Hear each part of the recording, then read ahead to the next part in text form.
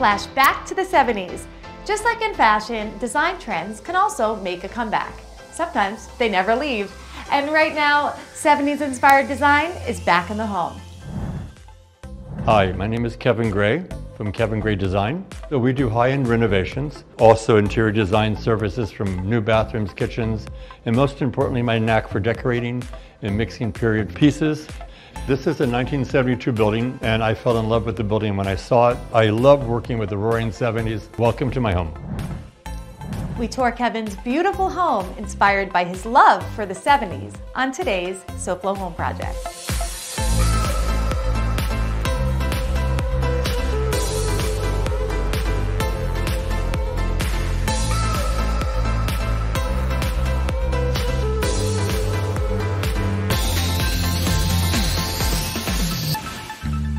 Welcome to SoFlo Home Project. I'm Alena Capra.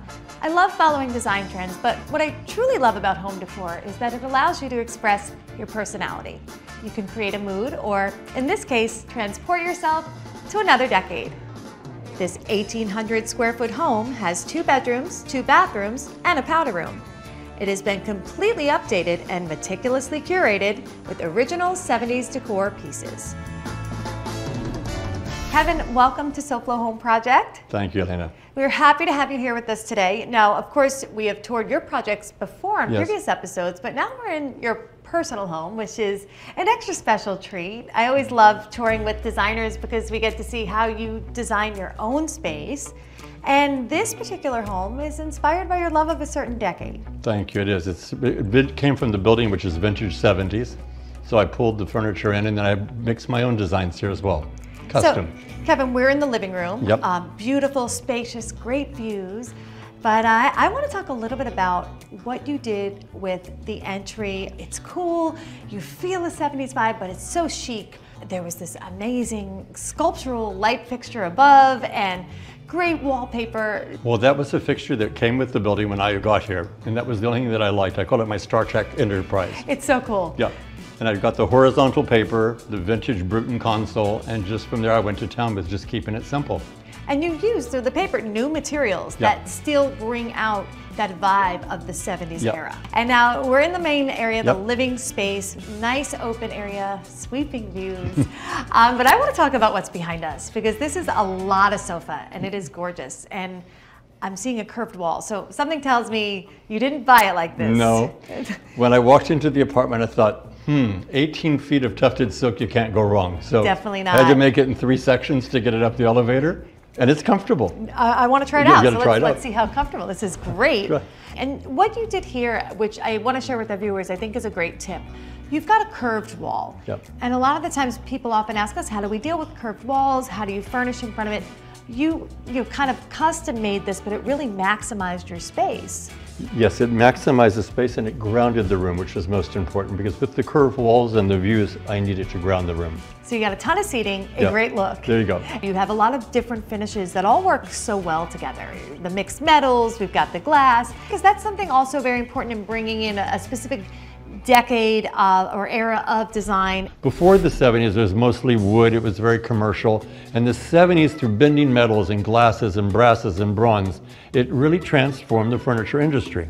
I mixed the 70s inspired stools, which are twisted brass. I did the dark upholstery to tie in with the tapisserie. And then I designed the table to work with the Madagascar top, lucite base, which works with everything else. Absolutely, I love lucite. I think, Yeah. and we're seeing a lot of that in home design It's again. coming, yeah. So that trend coming back, you're seeing it in table bases and Yes. stools and chairs, like the legs of a lot of different pieces of furniture. So that is a nod to the Yeah. 70s, and uh, you've kind of bought it nicely throughout as well. Yeah, thank you. So Kevin, why the 70s? Why this decade? You're a designer, you've seen a lot, you know a lot. What is special to you about that particular time period in design that you wanted that in your personal home? Um, I think it probably came up because I grew up in the 70s. I went to school in New York, transferred to Paris, and that's when I saw all of the wild designs. And I think those are the pieces I bought. So it's really a curated collection of things throughout your life. Yes. Then I looked for an apartment. I walked into the Palm Bay and I said, this is it. My, my pieces will fall into place with this building. Now, does the fact that the building was built in that era, It was built in 1972. was that important to you to It bring in that full design? yes, it was, but more importantly was the curves of the building and we're floating in the water. So it's unique. It is. It's a beautiful floor plan, and I cannot wait to see more. And we're going to check that out when we Great. come back. Coming up on SoFlo Home Project, we check out the kitchen that was completely renovated to capture the beautiful Miami views. I'm Tat with FHIA, and we're going to learn why it's so important for you to be involved in the in-home consultation when you're deciding to do your next home improvement project on today's SoFlo Home Project.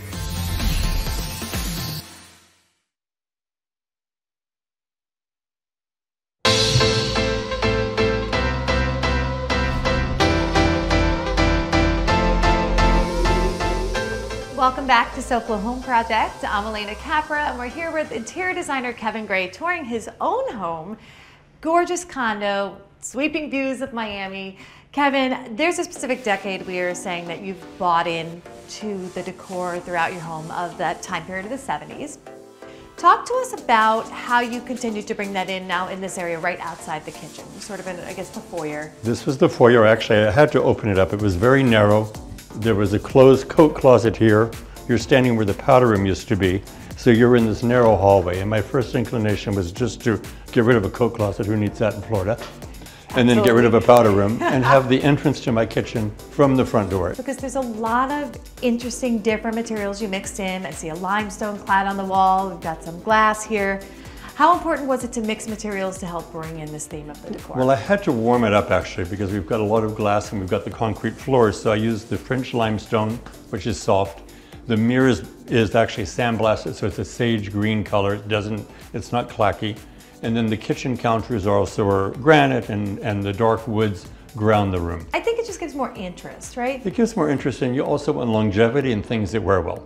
So we've got some very interesting materials, but also some interesting and beautiful pieces that you've curated here. Well, this is the 70s. Moretti, a French artist who came to the States, and I fell in love with it. I love the sculpture quality of it. I think it works well with the view. Yes. So it found its home here. This is over 100 years old. This is Carlo Bugatti. It pivots, it rotates, Nice. and it's one of my museum pieces. I think it's, I like to mix things.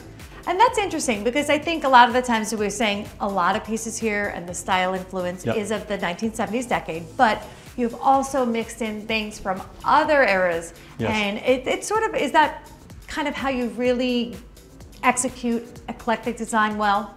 I think that's the, that's the, that's the key is you have to mix the right pieces at the right time, not too much of one or the other. Okay, so would you say going with the dominant theme of one and Yep. then kind of adding in little touches Right. of others? Yeah, so the shell was the 70s, the roaring 70s, and from there I mixed my artistic pieces in, and then my own designs, which I did much later.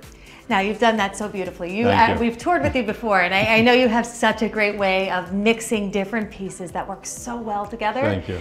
And uh, we're going to check out the kitchen, which has got a lot of great design here. But first, let's see what Tac Renata from FHIA has for us today.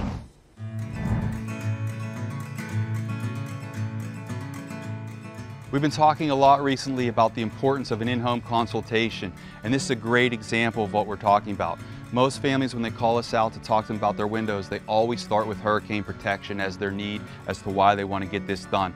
But in looking at this window and walking around the home uh, with the homeowner, you can see that they don't seal properly, they don't lock very well, so there's a lot of energy that's being lost. So there's just some things like that that we can always look at where homeowners, yes, we're thinking about hurricane protection, but also if we can save some of that money that we're giving the utility company, uh, it certainly would go a long way in helping the investment of the new windows.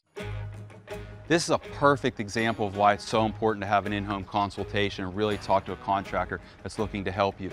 These windows have clearly been changed out. The rest of the home, the windows in the home are all bronze frames. These are newer, they've been changed out, but as you can see, there's no hurricane protection. Uh, they didn't do anything energy efficient, and now here we are just a few years later, and we're looking to change them out again to upgrade to hurricane protection and make the opening more energy efficient. We also want to address egress concerns in case there's a fire so that the family can get out safely. So we want to change it to a sliding window. But if they had had the right consultation originally, and we wouldn't be changing them again right now. So that initial consultation is vital in making sure you're making the right decisions for today as well as the future. Obviously, when we're talking about an opening this size, there's some things that we want to discuss and understand about the functionality of the space, how often this door is being used, where the furniture is located in the home, and how we want to be able to access the backyard. We know we want to upgrade to hurricane protection and try to make the home more energy efficient. It gets direct sunlight right here, so we want to make sure we choose something that's really energy efficient uh, so that space will be a lot more comfortable. We've been going over these tips about how important it is for the in-home consultation for the last several weeks because it is critical to make sure you get the project that you're hoping for and that everything goes as smoothly as you'd hope. Back to you, Alena. Thanks, Tat. So Kevin, we are going to talk a little bit about your kitchen, and we're actually not going to go inside because it's a galley kitchen and hard to maintain Yes. social distance right now. Next to the living room, we find the galley kitchen. The goal here was to completely update it to go with any decade of design. So I think one of the most important things about designing with a certain decade in mind here, it's, it's more been the furnishings and the accent pieces, but the bones of the space sort of in a, a design that's almost timeless, right? Yes. And that's what you did with the kitchen. That's what we did with the kitchen. But I used a cashmere granite, which is almost flawless. It doesn't show stains. A dark wood below, and then glass above. Garage doors actually are my favorite. So talk to us about why you like the garage door cabinets. A lot of people love those. Well, I find that cabinets that swing, I'll come up and bang my head on them, number one. And number two, I leave them open when I give a dinner party so someone can find where I have the extra bowl, where I have the extra plate, and I don't have to jump up and down That's a night. great tip. Yeah. I, I, you know, I, I've seen, I've designed a lot of kitchens at one time, and I think that is great when you want to have full access to the Yeah, cabinets. just open them up. Now, the backsplash. I love what you did with the backsplash. One side I completely mirrored around the upper cabinets, which sort of makes it float. And then opposite I used a glass, sandblasted glass tile. So there's the contrast of a reflective surface and then a soft surface. Nice, nice mix Yeah. again of materials Yeah. as you did right out here as Yeah. well. And you bought in a little bit more of that sandblasted glass. Yes, exactly. And the mirror as a backsplash, I think, is such a, a great way to create the illusion of more space. Yes. And uh, I think also works within the 70s decor. A lot of right, a lot of mirrored Yes, it does. accents. It gives a window often when you don't have a window. And in my case, since it's a galley, I've opened up the kitchen so I have the sunset and sunrise and the, and the mirror in between. and it also keeps it a little more timeless as well. Exactly. Coming up next, the 70s decor makes a bold statement in the master bedroom.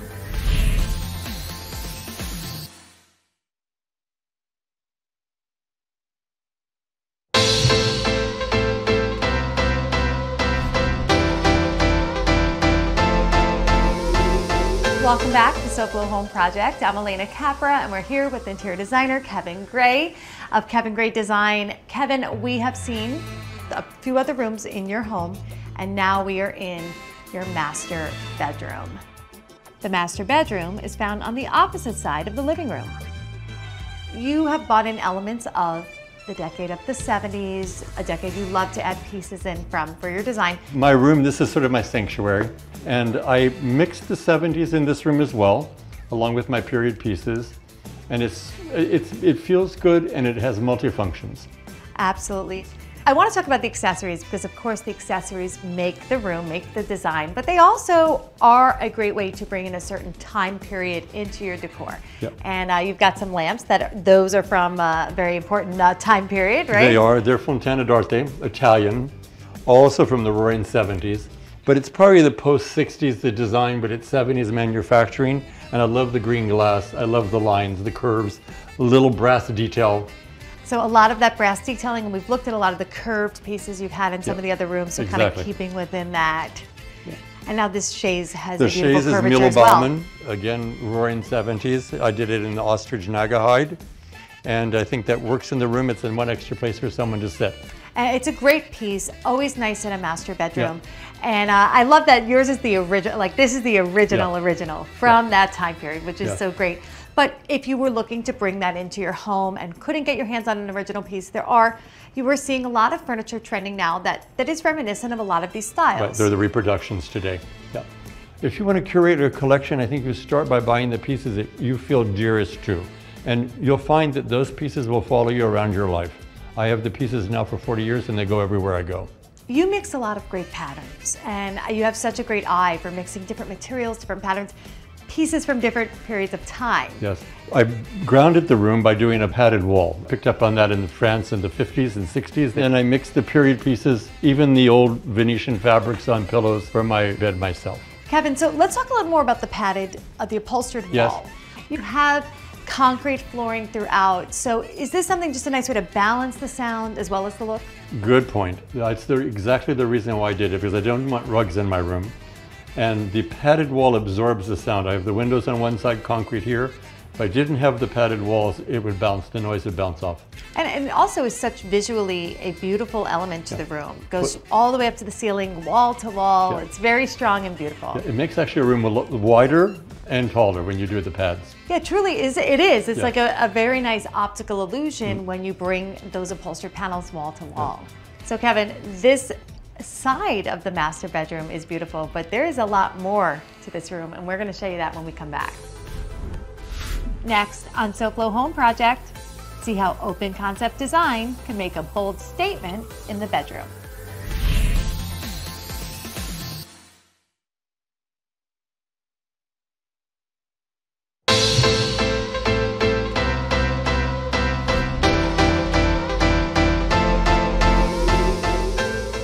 Welcome back to SoFlo Home Project. I'm Alena Capra, and we're here with interior designer Kevin Gray in his own home.